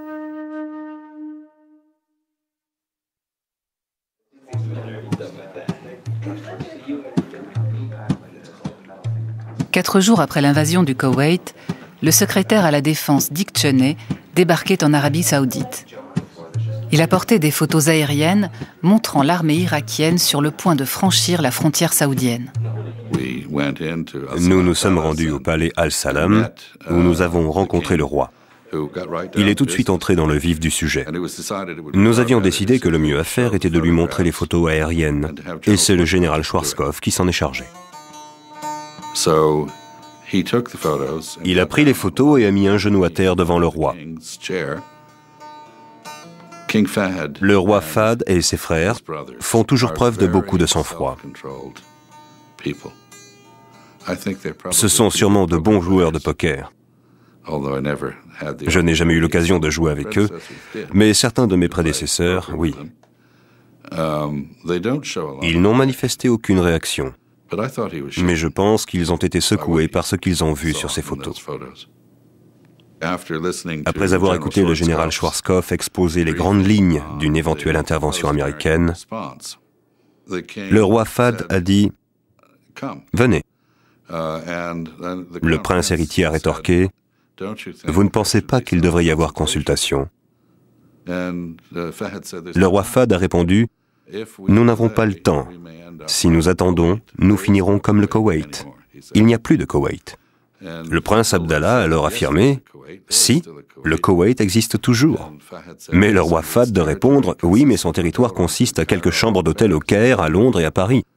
Le prince Abdallah a dit Je vois où tu veux en venir. C'est d'accord. L'accord était conclu et l'opération Bouclier du désert démarra immédiatement les militaires américains commencèrent à arriver dans le royaume. Ils devaient être 550 000.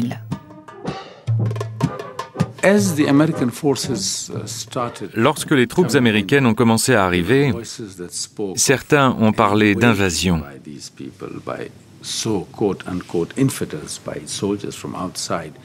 Pour eux, ces soldats étrangers étaient des infidèles venus profaner le sol saoudien. Ils allaient les convertir à une autre religion, remettre en cause leur mode de vie.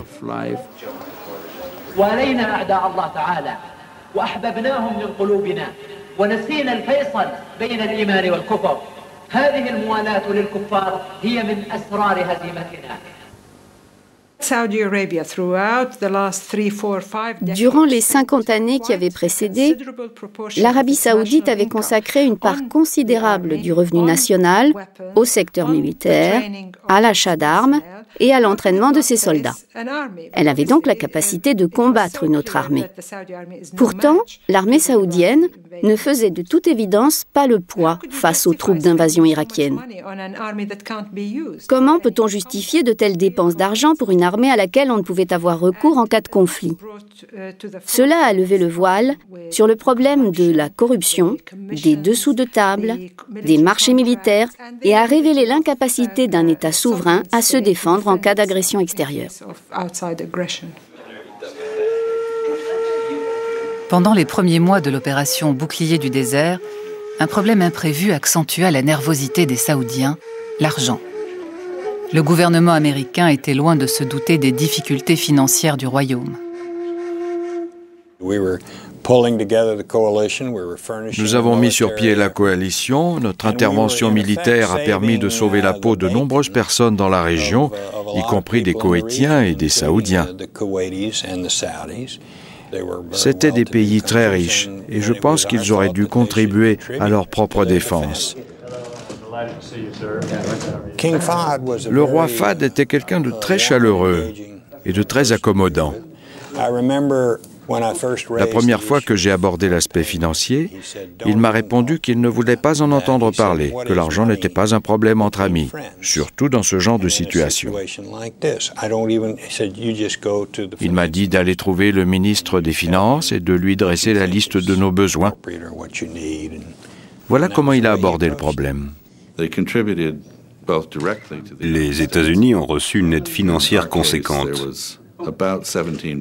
Nous avons reçu une enveloppe de 17 milliards de dollars en argent liquide, sans compter l'approvisionnement en kérosène. Durant cette période, l'Arabie saoudite est devenue le premier importateur de kérosène. Il y avait environ 2000 raids aériens par jour, ce qui représente une énorme consommation de kérosène.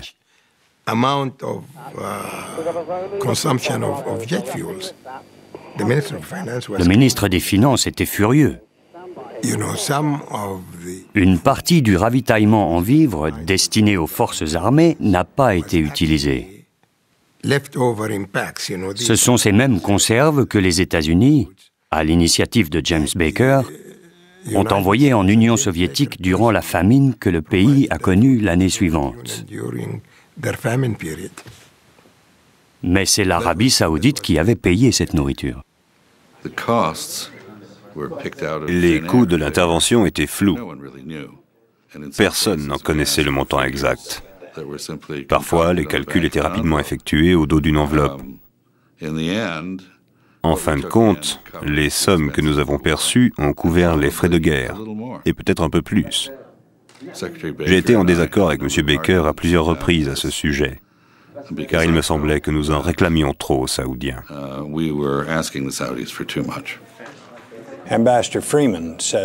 L'ambassadeur Freeman nous a confié que le royaume n'était plus aussi riche que par le passé. D'après moi, c'était la question de la sécurité qui était la plus importante. Il était donc tout à fait justifié que les Saoudiens y contribuent financièrement.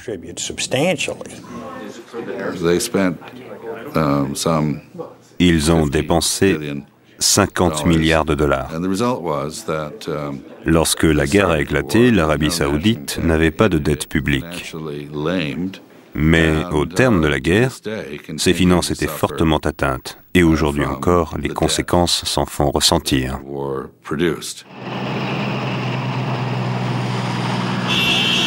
La victoire de la guerre du Golfe fut spectaculaire et sa célébration à la hauteur de l'événement.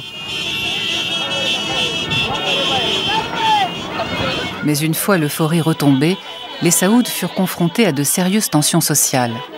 L'argent avait été longtemps le ciment de la société saoudienne.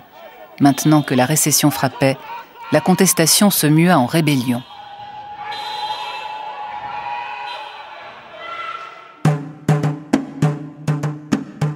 L'opposition islamiste radicale avait une raison de plus d'exprimer sa colère. Les États-Unis avaient promis que leurs troupes quitteraient le royaume dès la fin des hostilités. Ils n'avaient pas tenu promesse. Cinq ans après la guerre du Golfe, Saddam Hussein servait encore d'excuse pour maintenir des milliers de GIs sur le sol saoudien.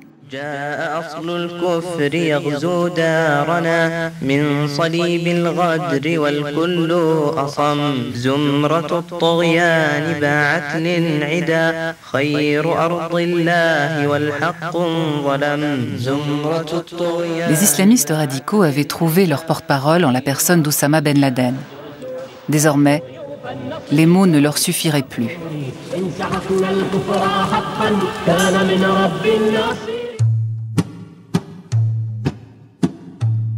Au matin du 13 novembre 1995, une bombe explosa à Riyad, la capitale saoudienne.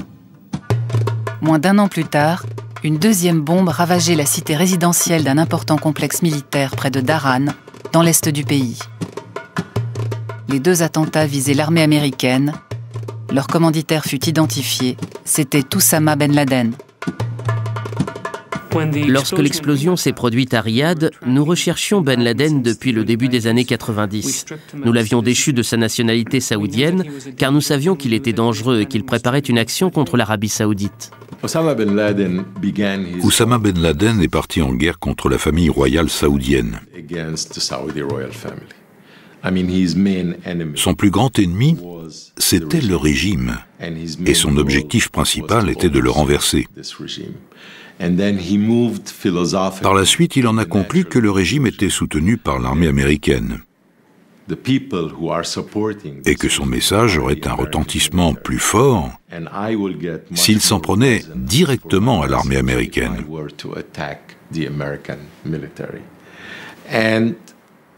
Et là, il m'a semblé déceler pour la première fois un certain courant de sympathie pour cet acte.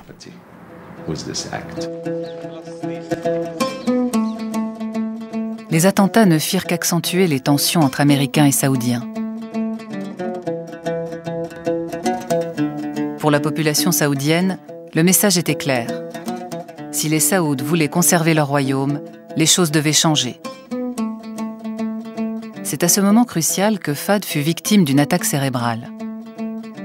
Ses fonctions s'en trouvaient réduites à des apparitions protocolaires. Le gouvernement du royaume revint à son frère, le prince héritier Abdallah.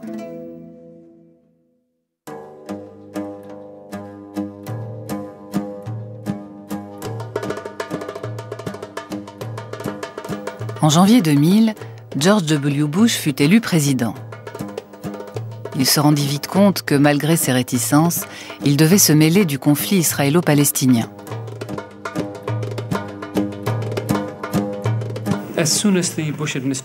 Dès que le gouvernement Bush a pris le pouvoir, nous avons soulevé la question de la politique américaine dans la région.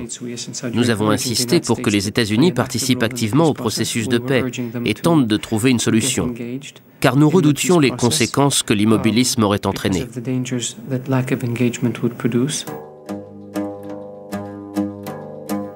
Le prince héritier Abdallah considérait la question palestinienne comme la cause essentielle de l'agitation de la rue arabe. Il voulait en convaincre l'administration américaine.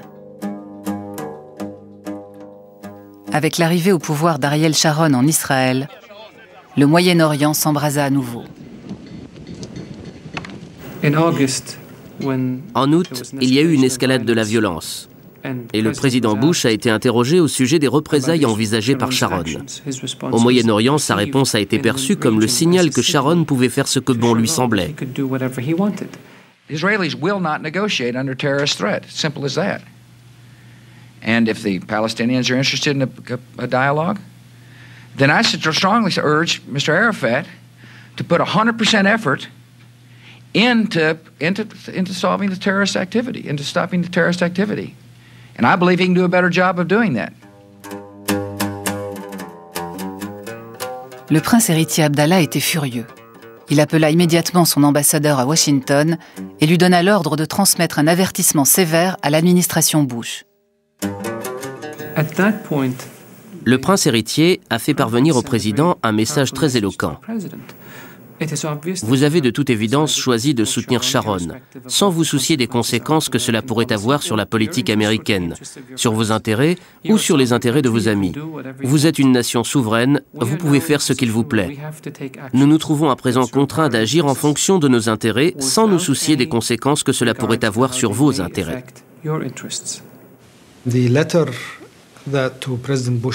La lettre adressée au président Bush reflète avant tout sa volonté de défier les États-Unis. En leur disant ⁇ ça suffit, nous en avons assez ⁇ Soit vous tâchez de vous montrer plus juste et plus équitable dans vos agissements avec le monde arabe, soit nous modifierons les termes de notre accord avec les États-Unis.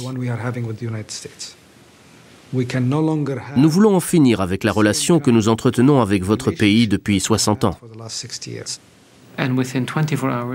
Dans les 24 heures, le président a répondu au prince héritier en lui exposant sa vision de ce que pourrait être le Moyen-Orient, à savoir deux États distincts, la partition de Jérusalem et le règlement équitable de la question des réfugiés. Mais il a précisé que cela serait possible uniquement s'ils arrivaient à stopper la violence. Le prince héritier lui a répondu qu'il trouvait sa démarche très positive et qu'il devrait prononcer une déclaration publique. Le président s'est engagé à le faire. Trois jours plus tard, les avions d'Oussama Ben Laden percutent les tours du World Trade Center et le Pentagone. Le processus de paix est interrompu.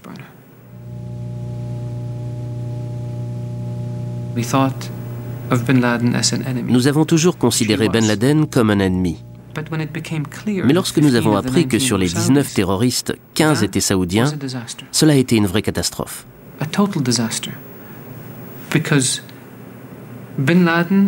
Aux yeux des Américains, Ben Laden faisait de l'Arabie saoudite une nation ennemie et son geste était délibéré. Il y avait quatre pilotes de quatre pays différents.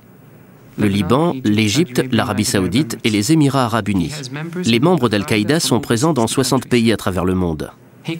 Il aurait pu choisir n'importe quelle nationalité pour les 15 autres. Son groupe aurait pu ressembler aux Nations Unies du terrorisme ou à la Ligue arabe du terrorisme, mais non. Il a choisi intentionnellement 15 Saoudiens pour donner à ces attentats un visage saoudien, établir une distance entre les deux pays en semant le doute auprès des Américains sur l'Arabie saoudite. Et il y est parvenu. L'amitié entre l'Amérique et l'Arabie saoudite s'est lentement décomposée. Le monde a évolué. La guerre froide appartient au passé et aujourd'hui, l'Arabie n'a plus grand-chose d'autre à offrir que son pétrole. Or, l'Amérique, avec la chute de Saddam Hussein, a misé sur les réserves pétrolières irakiennes. Les événements du 11 septembre ont affaibli la monarchie saoudienne. Le prince Abdallah a près de 80 ans.